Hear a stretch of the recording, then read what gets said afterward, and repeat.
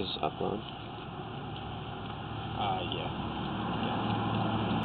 Hello, this is Manny Frere and Sam Ships with Bulldog Rooter.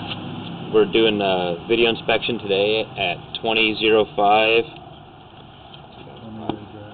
Toni Rae Drive, Spokane, Washington. This video is for upload. This is a rain gutter on the uh, north end of the, the garage that goes down to the street and I'll be pulling back. We cleared this blockage that was in this filter here and is now open. So I guess you do have a truck